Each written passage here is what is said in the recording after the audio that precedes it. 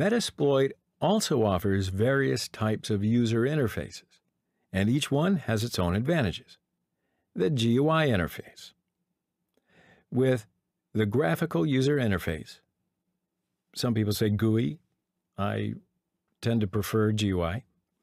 Um, almost everything might be done by clicking a button.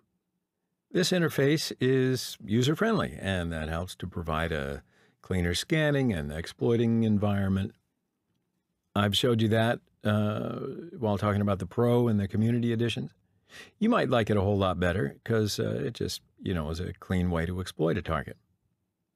Now, this is the console interface.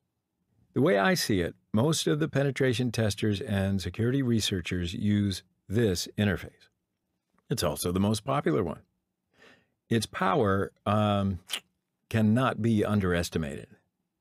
This interface provides an all in one approach to basically all the options offered by Metasploit. It's also considered one of the most stable interfaces. Now, throughout the range of this course, I'm going to be using this console interface for the most part.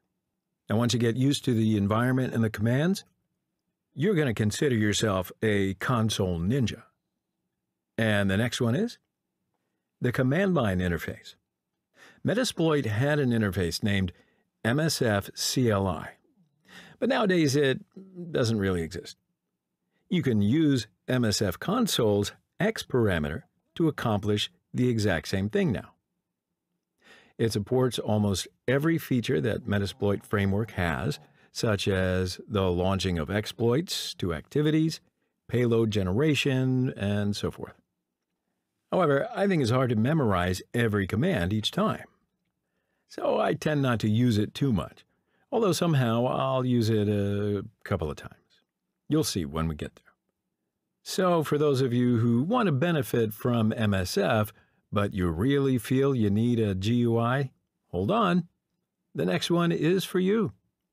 Armitage. Armitage. Armitage. You say Armitage. anyway, Armitage by Raphael Mudge. It's a cool hacker style GUI interface. It provides a lot of the features such as easy vulnerability management, nmap scans, exploit recommendations. It uses Cortana scripting language for automation. Now, to be honest, I don't really use this feature, and so I will give you some extra thoughts about Armitage in the next slide.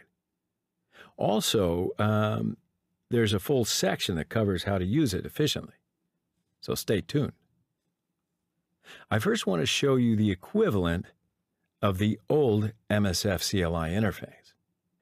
Because it doesn't exist now, uh, MSF Console's X parameter does the exact task for you. So open your terminal MSF Console H will display a basic help menu. Now here the parameter and its description is visible. But now I'm going to use it as type MSF console X. Then, between double quotes, write your Metasploit commands. So I'm going to use the VSFTPD exploit again. And yeah, there's no tab completion here. So that's why I was saying earlier, it might be a little more difficult to remember the command each time. So anyway, hit enter, and it'll start the Metasploit at the very first moment. Then it will use the exploit and set its variables. A session is open in the background so I will interact with that session by sessions I 1. Now, because this is not a Meterpreter shell, you can directly write Linux commands to the screen. You name A to check the machine's full name, if config, and this is what you saw earlier in Metasploitable 2.